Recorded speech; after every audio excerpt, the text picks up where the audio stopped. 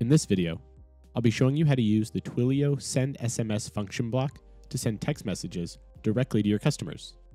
For this demo, we'll be creating an app that creates a promotional message for a product and then sends that promo message as a text to our customers. Let's get started. Before we set up our Twilio block, we'll need to set up the first couple automations in our app. First, I'm going to create some user inputs. This will ask the user to describe their product and overall style of the message they want to send to their customers.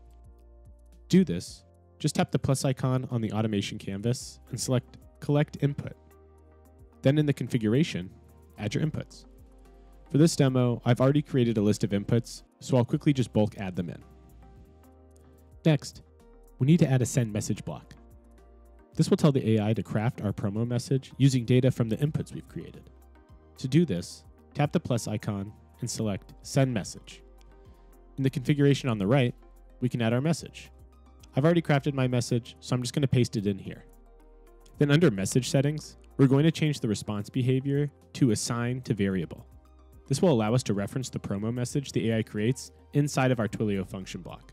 For this demo, I'll call the variable text. Now that we've configured our inputs and send message, it's time to add our Twilio block. To do this, we'll again tap the plus icon, then select Run Function. Then in the configuration, we can select Browse Community Functions. Scroll to the bottom to find the Twilio Send SMS block and tap Import. Now that we have our block, we'll need to configure a couple of things. First, we'll need to find the Twilio account SID. To do this, let's go over to Twilio.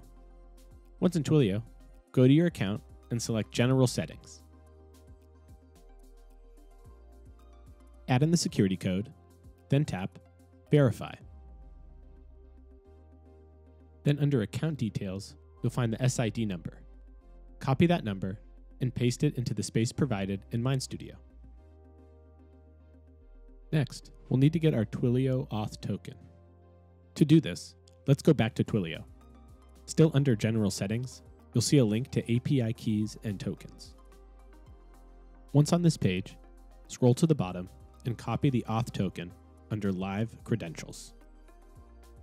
Now we'll go back to MindStudio and paste it into the space provided. Next, we'll have to add in the text message we want to send. Because the AI will be creating the promo message for us, we can use our send message variable by typing it in the space using double braces. Last, we'll need to add in the phone number the message will be coming from and the number we'll be sending the message to. For the from number, we'll be using the default number associated with my Twilio account, but you can use any other Twilio number that you have set up.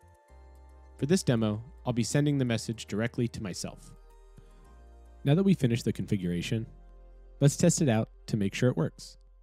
If we head over to the Resources panel and select our function from the Functions folder, it will open additional block settings. Navigate to the Test Data tab, and from here we can paste all of the configuration data between the two quotations.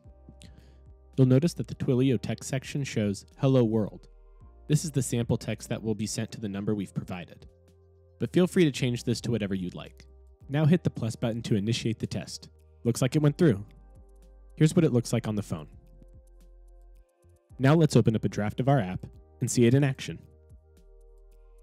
For our product, we'll say that we're selling Peloton bikes. For the promo, we'll say that the customer will get 30% off a Peloton order between December 20th and January 2nd. For the tone, we'll say we want something fun and professional. And last, I'll just add in my promo link that can be added to the message.